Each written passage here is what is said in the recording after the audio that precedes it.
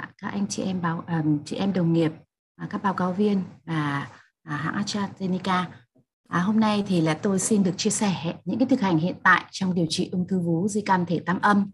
À, có thể nói thể tam âm là một cái thể dưới nhóm của ung thư vú à, có tiên lượng rất là xấu và tôi cảm thấy rất là uh, rất là cuốn hút khi mà được uh, nghiên cứu hoặc là được tham gia những các các nghiên cứu hay là báo cáo về cái thể này. À, mặc dù đây là một cái thể rất khó trị à, và chúng ta còn rất là ít những cái dữ liệu cũng như là cũng rất ít những cái hội thảo nhưng tôi hy vọng rằng trong thời gian tới chúng ta sẽ có thêm nhiều có thêm nhiều những cái tiến bộ mới để chúng ta có thể thực hành à, trong hiện tại được tốt hơn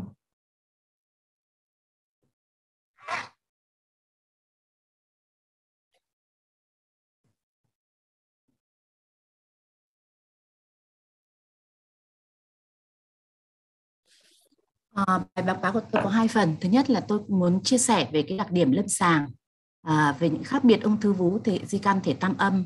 À, và thứ hai là phần điều trị à, ung thư vú thể tam âm hiện tại. À, các bạn cũng biết ung thư vú là một thể bệnh không đồng nhất. À, chúng ta có không phải là một bệnh, ung thư vú không phải là một bệnh duy nhất. À, chúng ta có rất nhiều những cái phân loại dưới nhóm và dễ, chúng ta dựa cái thụ thể nội tiết là gen, progesterone mô để có thể chia thành uh,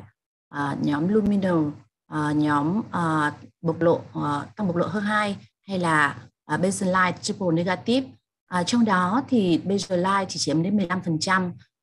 mà có cả các thụ thể nội tiết âm tính cũng như là HER2 âm tính. À, ngoài ra thì chúng ta à, trong một cái kỷ nguyên của điều trị nắm trúng đích à, chúng ta còn nghiên cứu sâu hơn về sinh học phân tử và trong những cái nhóm trong từng nhóm chúng ta còn có thể phân những nhóm những cái những,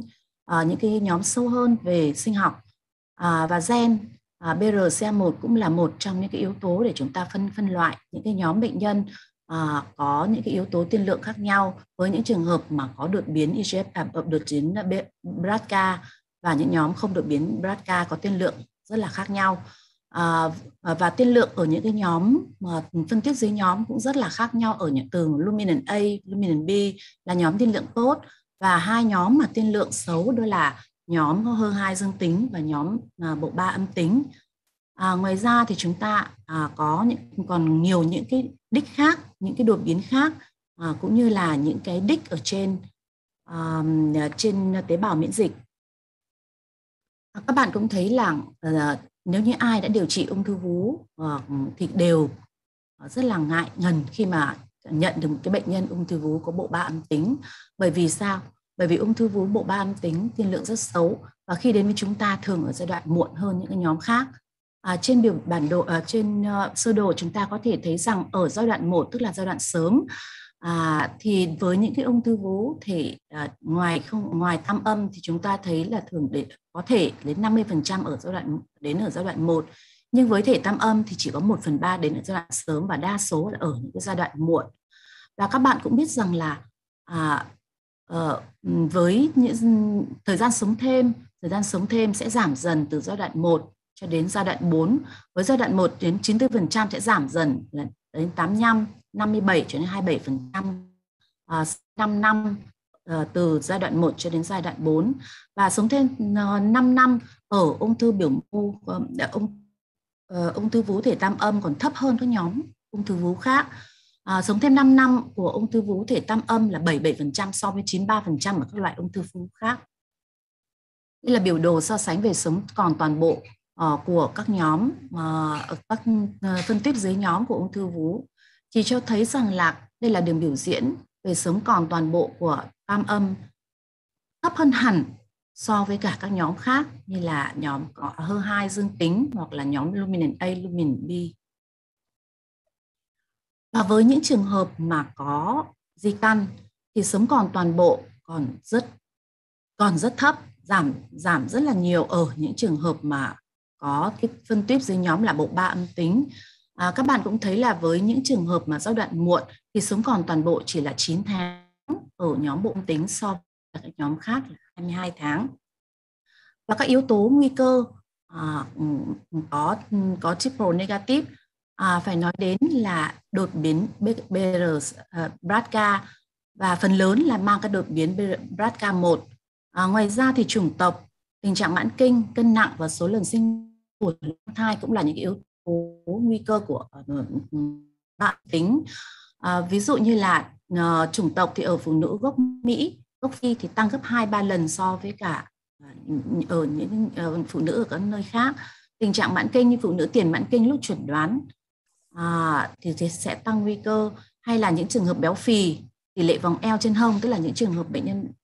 phì thì thường có tăng nguy cơ có ung thư vú bộ ba âm tính à, ở những cái trường hợp phụ nữ trước và sau mãn kinh và nếu trường hợp mà sinh nhiều con như trên ba con thì tăng nguy cơ ờ, có triple negative. Tuổi lúc mang thai lúc còn trẻ à, thì cũng sẽ tăng nguy cơ. À, những cái nguy cơ này chúng ta cũng đã nhắc nhiều trong tất cả các phân tích dưới nhóm của ông. À, tình trạng mãn kinh rồi tiện ừ, béo phì cũng như số lần sinh con tuổi mang thai à, vân vân thì chúng ta đã được nhắc nhiều trong tất cả các phân tích dưới nhóm. Tuy nhiên cái đột biến BRCA có vẻ như là một à, một cái ừ, như là đặc sản của triple negative à, nó thường gắn liền với cả bộ ba âm tính. À, bởi vì sao vậy? Trong các phân tử uh, trong các phân tích dây nhóm của ung thư vú thì tỷ lệ có đột biến BRCA cao nhất ở nhóm triple negative thông thường chỉ 9 đến 10% ở trong tất cả các nhóm. Nhưng với thể uh, tam âm thì tỷ lệ có đột biến lên đến 17% và chủ yếu là BRCA1 uh, đột biến BRCA có thể gặp ở tất cả các phân nhóm gặp nhiều ở tam âm và à, với những trường hợp mà có BRCA ở thể tam âm thì thường là cái bệnh nhân sẽ trẻ hơn so với cả cái nhóm à, bệnh nhân ở các tuyếp khác mà có à, BRCA germline. À, chúng ta có thể thấy đây trên biểu đồ là những cái trường hợp mà bộ ba âm tính có BRCA thì cái uh, BRCA ờ, à, và thể tam âm thì cái tuổi cái tuổi uh, mà tuổi trẻ từ 30 đến 39 cao hơn so với cả cái nhóm khác à, trong khi là ở các nhóm tuổi khác thì có thể ngược lại và tuổi trung bình chuẩn đoán ở, ở cái nhóm BRCA à, có bộ ba âm tính là 40 tuổi. Bệnh nhân ung thư vú có đột biến BRCA thường có đặc điểm khối u khác biệt so với nhóm dân số khác. À, tại thời điểm chuẩn đoán thì những bệnh nhân có BRCA dương tính thường là bệnh nhân trẻ tuổi, có độ mô học tế bào cao, có ung thư vú đối bên nhiều hơn so với các nhóm khác và thường là di căn não. Trong rất nhiều các nghiên cứu về à, à về gen trong các khối u di căn não người ta thấy à, có sự có mặt của các đột biến BRCA đã được ghi nhận trong rất nhiều những nghiên cứu và trong thực tế các nghiên cứu lâm sàng tại bệnh viện đại học Oslo, Oslo trên 440 bệnh nhân à, thì người ta cũng phân tích được những cái đặc điểm ở bệnh nhân có ung thư vú có đột biến BRCA thường là rất là trẻ từ 42 đến 48 tuổi và bệnh diễn tiến rất nhanh. À, các tế bào cũng đặc điểm của các của tế bào biếu thì thường là có độ mô học cao có Ki67 cao và thông thường gặp những cái thể mà có thụ thể nội tiết âm tính và thể bộ ba âm tính. Và một điều đặc biệt là có cái tỷ lệ à, cái tiền sử gia đình có ung thư vú và ung thư buồng trứng cao. Và chúng ta có thể thấy rằng là trong cái nhóm đột biến BRCA thường có độ mô học cao hơn. À, và trên biểu đồ chúng ta có thể thấy thế này. À, cái nhóm mà trong cái nhóm bệnh nhân có đột biến BRCA thì chủ yếu chủ yếu sẽ ở ờ, sẽ có cái tỷ lệ grad à, tỷ lệ à, độ mô học grad 3 là cao hơn hẳn so với cả grad 1 grad 2 trong đó thì grad K1 là có chiếm tỷ lệ có chiếm tỷ lệ có bộ mô học cao cao nhất 98,6% à, so với cả grad K2 và so với cả à, các các nhóm khác. Và đối bộc lộ ừ, Ki67 cũng vậy. Ki67 là một cái chất mạc nóng bộ nó thể hiện cái mức độ phân chia của tế bào. À, tế bào dễ phân chia dễ di căn. À, và trong những cái nhóm mà có BRCA dương tính thì thấy rằng cái bộc lộ tế bào rõ ràng là cao hơn và cái tỷ lệ cao nhất thuộc về cái nhóm mà có BRCA1 dương tính. Ờ, đột biến BRCA germline cũng liên quan đến cái kết quả sống còn kém hơn. Người ta phân tích trên 60 nghiên cứu và các ừ, và trên 105.220 bệnh nhân, trong đó đã có 3.588 ca đột biến BRCA, một con số rất lớn để có thể đưa ra một cái kết luận về, đưa ra được một cái nhận xét về cái yếu tố tiên lượng liên quan đến sống còn. À, trong các nghiên cứu có so sánh giữa đột biến, à, đột biến những nhóm bệnh nhân có đột biến BRCA và nhóm à, nhóm không có đột biến BRCA thì thấy rằng sống thêm toàn bộ à, ở cái nhóm à, ở cái nhóm mà có đột biến thì sẽ làm tăng cái nguy cơ tử vong lên đến 46% và đặc biệt là trong ung thư vú thì ta cũng thấy cái tỷ lệ này tăng cao đến 34% tăng nguy cơ tử vong ở nhóm trên riêng trên cái nhóm bệnh nhân ung thư vú. Trong số những cái những cái đột biến BRCA trong tất cả những cái nhỏ cái, cái những cái loại ung thư khác nhau. Và ung thư uh, vú mà có đột biến BRCA thì liên quan nhiều đến cái di căn não. À, trong các cái Ừ, về di căn não trong ung thư vú thì người ta cũng có tính đến những cái cái gen uh, những cái gen mà liên quan đến cái uh, tương đợi là tương đồng uh, với cái việc mà có tăng cái cái cái di căn não. Uh, bên cạnh ừ, một số những cái gen như là ừ, uh, PT50 thì chúng ta thấy có cái một tỷ lệ cái BRCA uh, à, BRCA dương tính trong những bệnh nhân mà ung thư vú có liên quan đến di căn não à, và bệnh nhân thể tam âm mà có đột biến thì có tỷ lệ dây dây căn não cao hơn à, chiếm 64% so với 37% ở các nhóm khác. Chúng ta thấy đã, à, với BRCA1 thì cái tỷ lệ mà bệnh nhân có dây căn não là chiếm đến 50% Đây là một tỷ lệ khá cao. Những cái bệnh nhân mà đã có BRCA dương tính thì sẽ có dây căn não. Và đây cũng là một cái đặc điểm mà dẫn đến là những cái trường hợp mà BRCA thì thường là là bệnh nhân à, hay có hay có di căn não và sớm có di căn não. À, đây cái đường biểu diễn mà thời gian di căn não à, xuất hiện di căn não thì cũng thấy cái khoảng thời gian đã tiến triển đến di căn não ở cái nhóm mà BRCA à, BRCA à, dương tính cao hơn. À, có thời gian tiến triển thì là sẽ thấp hơn. Và thời đến bệnh tiến triển à, ờ, ở nhóm mà BRCA nó khác biệt hẳn so với à, dương tính khác hẳn so với cả BRCA âm tính. À, vậy thì chúng ta đã có một cái một cái mối liên quan của một đích à, liên quan đến ung thư vú tam âm.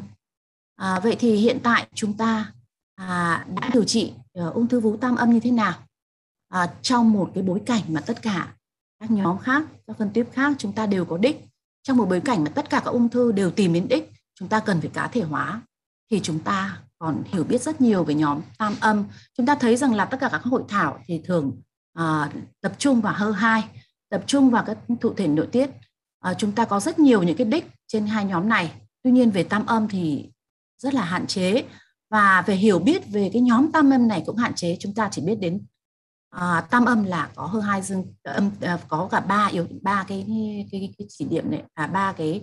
IE, PE và hơn hai âm tính. À, tuy nhiên thì ngay cả trong từng nhóm này Ừ, xét trên góc độ phân tử chúng ta còn có thể phân thành rất là nhiều nhóm khác nhau với những đặc điểm khác nhau và ờ, trên cả cái đột biến thì chúng ta vẫn còn những cái còn những cái hạn chế trong cái hiểu biết trong phân tuyếp này. À, nhưng nhưng thì với những trường hợp mà bộ ba âm tính thì tiến, tiến triển lại rất là nhanh. Chúng ta thường gặp thường thường gặp những bệnh nhân đến với chúng ta ở cái bệnh cảnh di căn rất là nhiều nơi và trong quá trình điều trị chúng ta thấy nó di căn ồ ạt không có đích điều trị. Hiện tại chúng ta đã không có đích điều trị không có một cái đích để có thể ừ, tối ưu hóa cái hiệu quả điều trị như những cái nhóm khác. Và lựa chọn điều trị hiện nay chúng ta vẫn chỉ là hóa trị hóa trị đơn thuần hoặc tuần tự.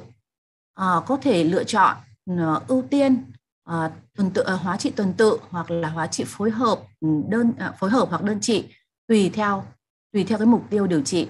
và lúc này thì chúng ta sẽ chỉ loay hoay trong cái việc mà chúng ta sẽ cân đối xem điều trị phối hợp hay điều trị đơn trị và cái thứ tự điều trị nào à, và lúc này thì chúng ta uh, sẽ uh, tùy theo cái mục tiêu uh, và mục tiêu của chúng ta là duy trì điều trị cho đến khi bệnh tiến triển hoặc độc tính không chấp nhận được và kéo dài thời gian sống thêm cho bệnh nhân. À, tuy nhiên thì chúng ta thấy rằng à, việc kết hợp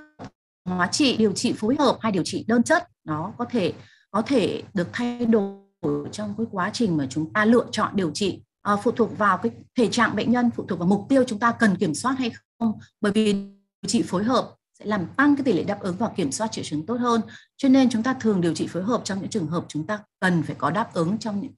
trong cái ờ, trong cái bối cảnh mà bệnh nhân mà có nhiều những cái triệu chứng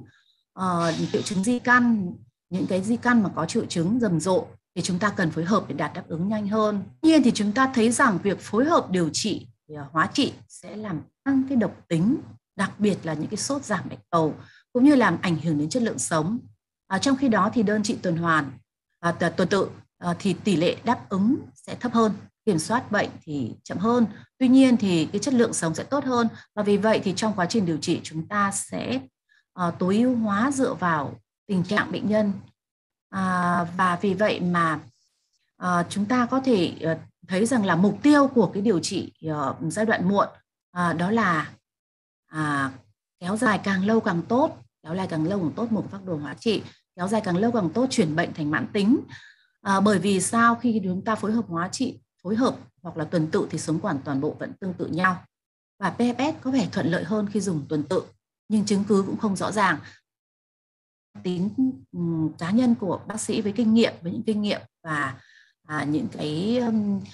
những cái cái phương tiện sẵn có. À, chúng ta thấy hiệu quả hóa trị trong ung thư vú tam âm cũng rất hạn chế. Từ khi bắt đầu điều trị đến khi tái phát đầu tiên khoảng trung vị thời gian rất là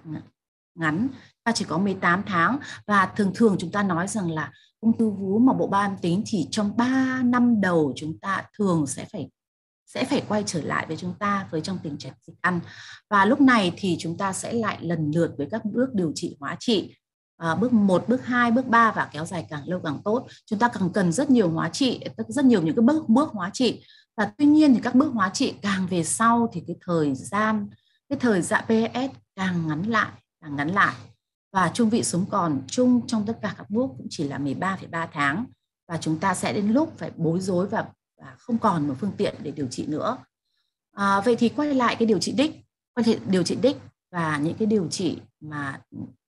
miễn dịch à, đang là một cái xu thế dành cho những trường hợp à, ung thư, điều ung thư nói chung cũng như là những cái trường hợp mà ung thư vú đã đi vào những cái à, khó khăn bế tắc và những cái mà hạn chế trong cái thời gian sống thêm chúng ta đã thu được những rất là nhiều những cái hiệu quả về điều trị đích trong rất là nhiều những cái ờ, loại ung thư. Và trong ung thư vú thì chúng ta cũng có uh, trong cả nhóm HER2 dương tính trong cả thụ thể nội tiết dương tính uh, và chúng ta đã có kinh nghiệm điều trị. Uh, và hiện gần đây thì chúng ta đã có bắt đầu có những cái điều trị đích trong ung thư vú bộ ba âm tính. Uh, trong guideline mới nhất của NCCN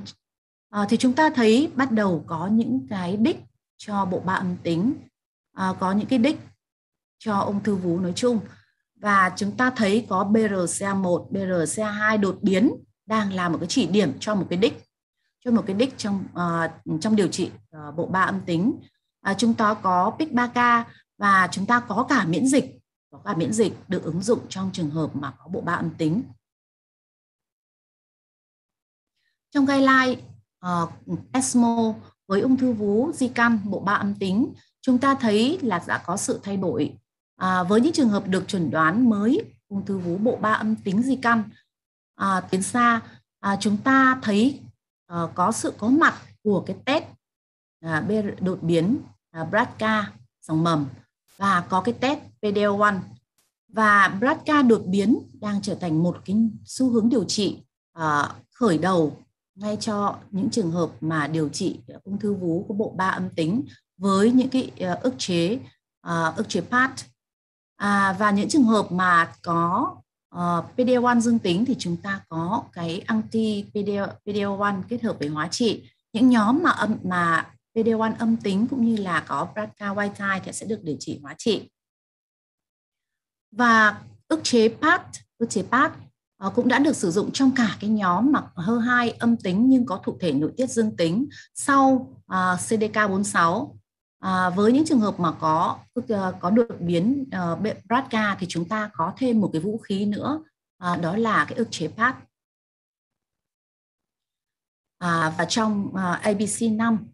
chúng ta thấy rằng cái lựa chọn đơn trị ức chế pad cũng là một lựa chọn ưu tiên trong ung thư vú bộ ba âm tính có đột biến dòng mầm. Và như vậy là chúng ta à, đã có thêm một vũ khí đã có cái uh, có đích có đích cho bộ ba âm tính. Đối với bệnh nhân có đột biến BRCA nói chung giai đoạn tiến xa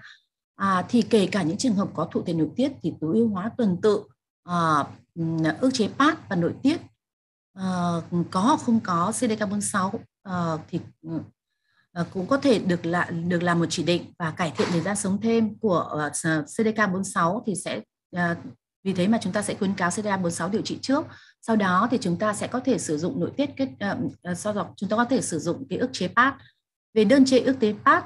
thì liên quan đến cái uh, lợi ích về PFS, cải thiện được chất lượng sống và đặc biệt là trong thời gian này khi mà uh, bệnh nhân của chúng ta đang phải đối đối mặt với cả uh, đại dịch Covid thì cái việc mà chúng ta sử dụng một cái thuốc viên uh, vừa an toàn vừa cải thiện chất lượng sống à, vừa kéo dài được thời gian sống thêm và không phải giảm được cái thời gian nằm ở viện cũng là một lựa chọn rất là tối ưu trong điều trị bước 1 và trong khuyến cáo của Bộ Y tế ban hành tháng 7 năm 2020 trong ung thư vú tam âm chúng ta thấy có mặt của ức chế PAP, có mặt của ức chế PAP với olaparib, à, palazoparib trong những trường hợp mà có bộ ban tính có BRCA à, 1-2 dòng mầm. Và lựa chọn điều trị vẫn phải cân nhắc tình trạng thụ thể nội tiết hô 2 và BRCA đột biến à, là một cái yếu tố mà chúng ta sẽ có thêm để lựa chọn cũng như cùng bên cạnh cùng với cả những cái đột biến khác như PIK3K à, à, và những cái liệu pháp trước đây độc tính thời gian cũng như là bệnh không tiến triển gánh nặng khối u tuổi sinh học tình trạng sức khỏe bệnh nhân tình trạng mãn kinh và cần kiểm soát bệnh hay triệu chứng hay không hay mục tiêu điều trị của chúng ta các yếu tố kinh tế hay xã hội và các liệu pháp sẵn có của ừ, quốc gia. À, và chúng ta rất là chờ đợi à, sẽ có được cái ức chế PAD à, ờ, để chúng ta có thêm cơ hội cho cái lựa chọn điều trị bệnh nhân đặc biệt trong nhóm bệnh nhân ung thư vú có bộ ba âm tính. Vậy thì trong kỷ nguyên điều trị chính xác à, điều trị ung thư nói chung chúng ta đã cần có một cái điều trị À, mang tính cá thể hóa. Và điều trị ung thư vú di căn, đặc biệt là bộ ba âm tính thì các khuyến cáo quốc tế hiện nay xác định những biomarker mới đó là đột biến BRCA germline à, và cái điều trị đích sắp tới chúng ta có đó là olaparib. À, vậy thì chúng ta cần phải hiểu biết nhiều hơn nữa về cái đột biến BRCA trong ung thư vú. Và à, olaparib đã cải thiện cái kết cục và giải quyết các vấn đề lâm sàng của chúng ta như thế nào thì ờ, chúng ta sẽ được tìm hiểu rõ hơn qua cái bài báo cáo của giáo sư Rebecca. Và tôi xin được kết thúc bài trình bày của tôi tại đây. Xin cảm ơn sự theo dõi của tất cả các bạn. Vâng, ờ, cảm ơn uh, tiến sĩ Lê Thị Thu Hà. Và qua bài cái bài báo cáo của tiến sĩ Lê Thu Hà đến từ bệnh viện Ung Biếu Hà Nội thì cũng đã cho chúng ta một cái bức tranh à, tổng quan về ung thư vú.